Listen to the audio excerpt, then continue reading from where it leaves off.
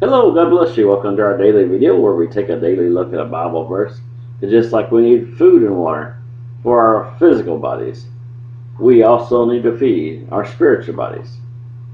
We feed our spiritual bodies by reading the Bible.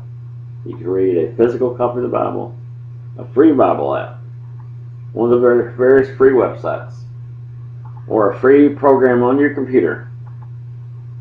But it's so very important to read the Bible for yourself to know what the Word has to say. We give you an appetizer, a verse of the day in these daily videos, all along with some discussions in hopes that you will dust your Bible off.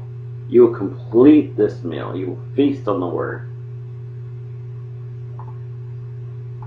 Today we're going to be in the book of Psalms, chapter 51. We're going to read verses 1 and 2. Starting here in verse 1. To the chief musician, a psalm of David, when Nathan the prophet came unto him after he had gone into Bathsheba.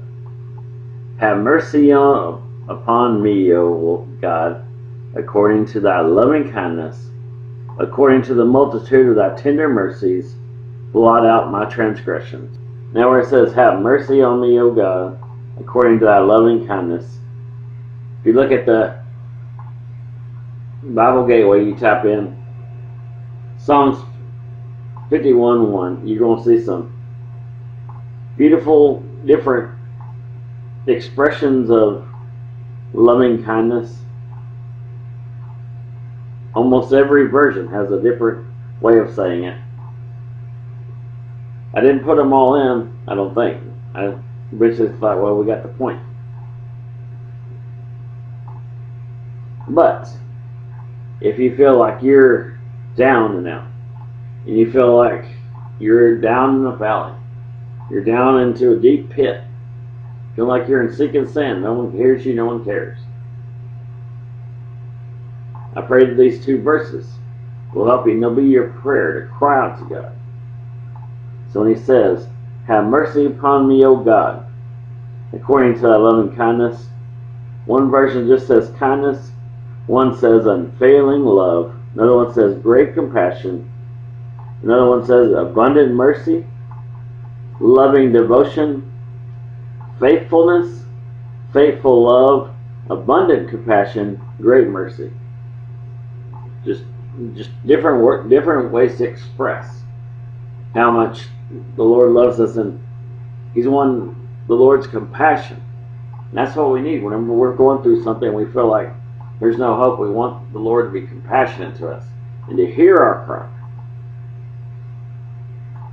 according unto the multitude of thy tender mercies. Blot out my transgression. Psalm 52, 50, verse 2.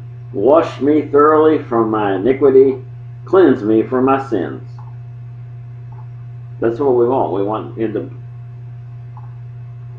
to blot out our transgressions, wash us thoroughly of our iniquity, and cleanse us from our sin.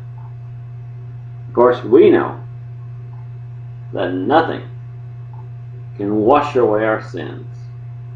Nothing but the blood of Jesus. And that's what we got to cry on, rely on. Is rely on the Lord to deliver us from whatever we're going through and to take away our sin and to help us through whatever situation we're going through. Just like David here, I mean, he felt he felt alone because you know he would he had sinned against the Lord.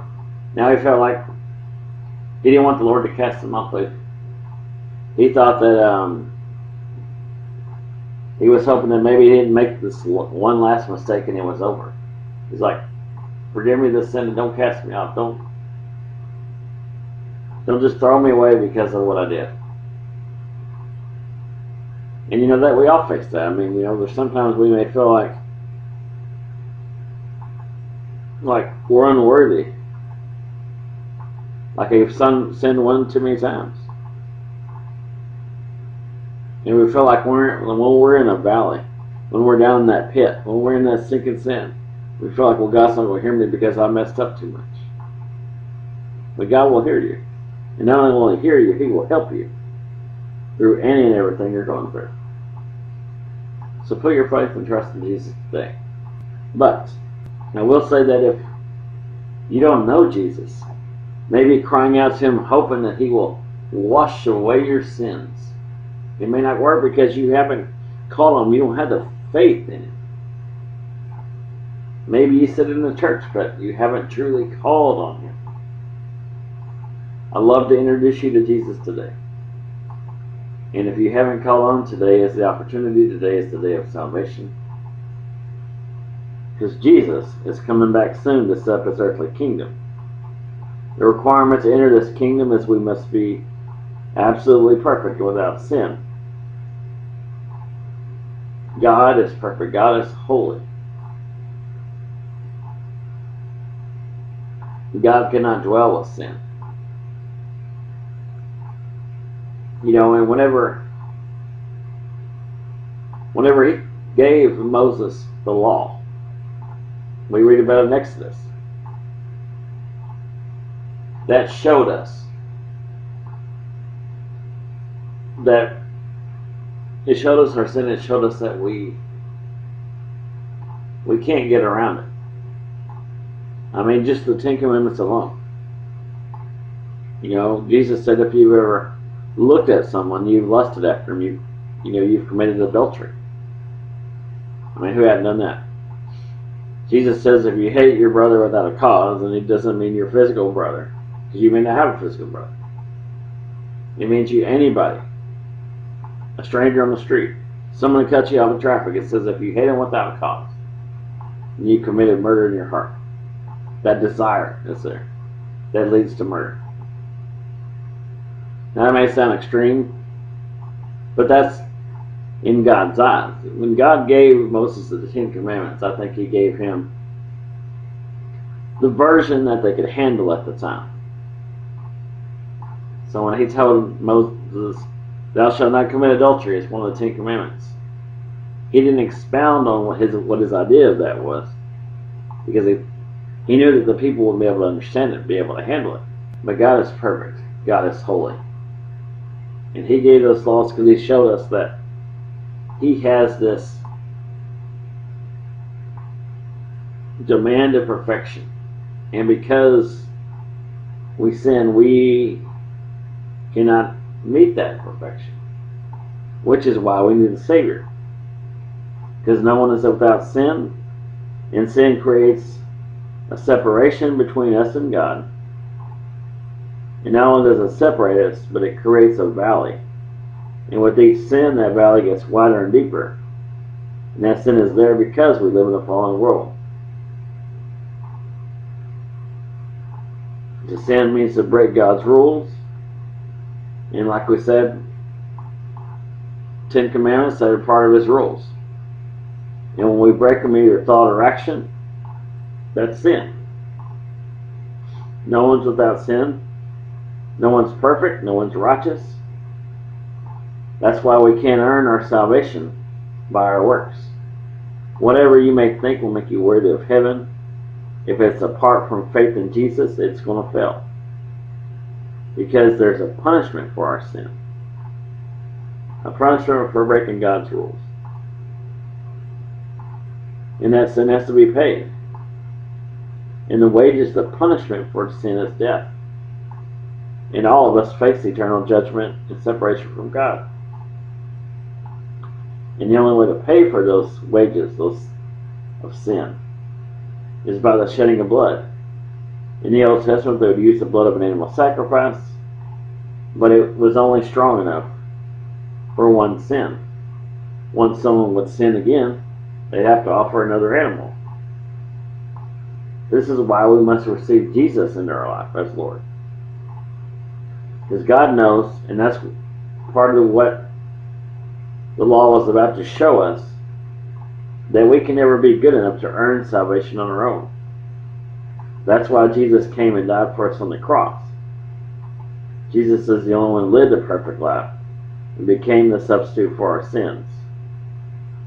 Because Jesus is God, He always existed, he left his throne in heaven, he left eternity, and he put on flesh. Wasn't an angel, wasn't a ghost, wasn't a prophet. Flesh and blood and bone, born of a virgin, fully God, fully man, 100% God, 100% man, lived a perfect sinless life, Jesus came to earth just to die for all of us. Jesus was crucified on the cross, was buried in the tomb for three days and three nights, and then rose from the dead, proving that he was God because death and the grave had no power over him. And unlike that sacrifice of the animal that was only strong enough for one sin, Jesus' sacrifice on the cross was so powerful that it paid for the sins of everyone in his day, all the way up to today, and all the way to the end of the world. And then Jesus rose from the dead, proving that he is God. And he wants to save us from the penalty of our sins and give us eternal life. Jesus took our place, suffered God's wrath for us. The punishment that we deserve for our sin was poured out on Jesus. Just like John 3.16 says, God gave his son to the world to die in our place. Jesus paid God's price, that price of perfection, because he cannot dwell with sin. That sin has to be washed away. There's a heavy price to wash that sin away. Jesus paid that price for our sin when he died on the cross. Jesus nailed our sins to the cross with him.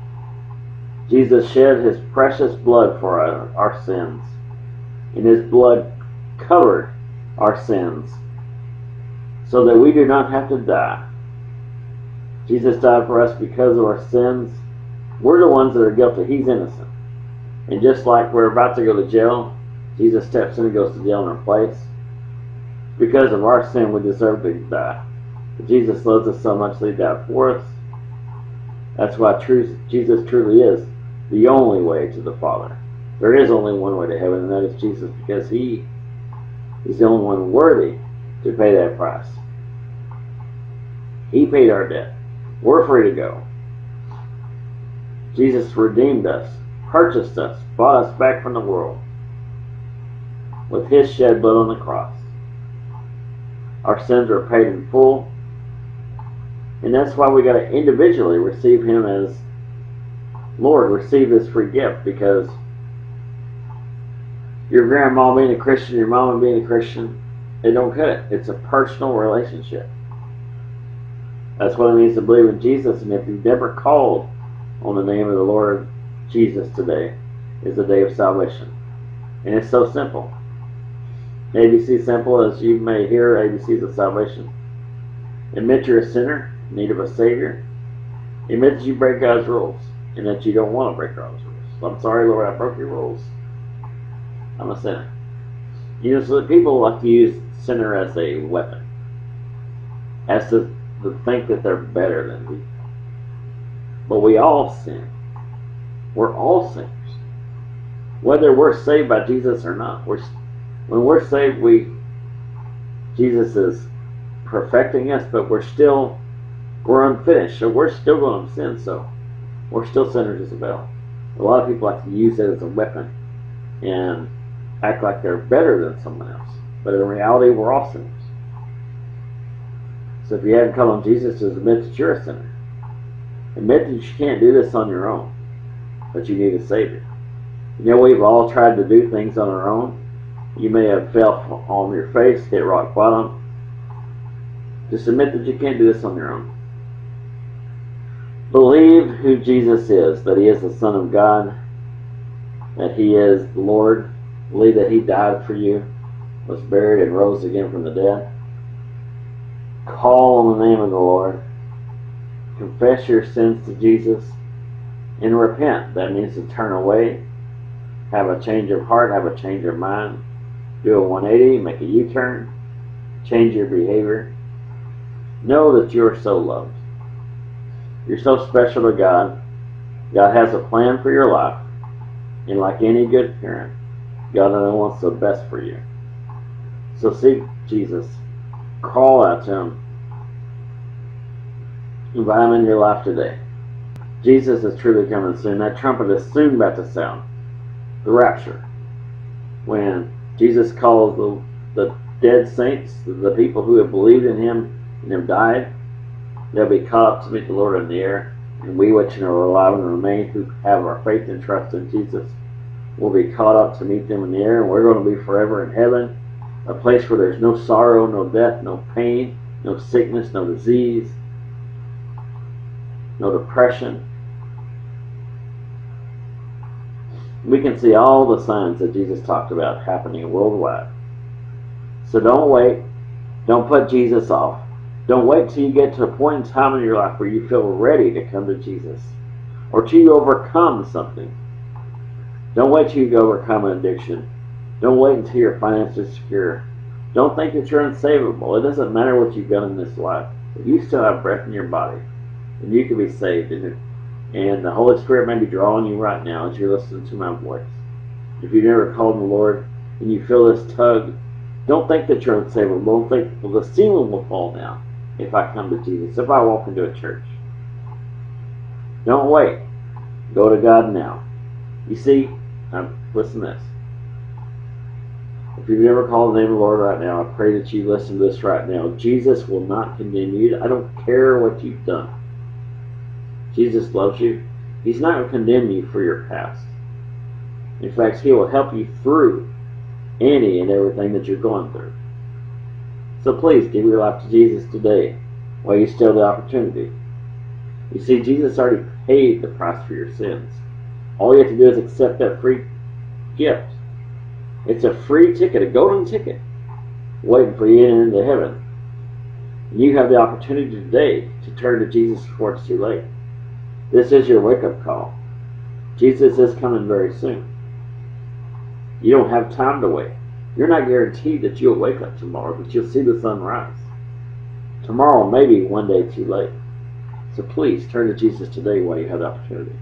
Well, I pray you got something out of the video. If you did, give God glory. I can't wait to see what the Lord has for us tomorrow. I love you. Jesus loves you. I'll see you tomorrow, God willing. Or hopefully, we'll see you in the clouds.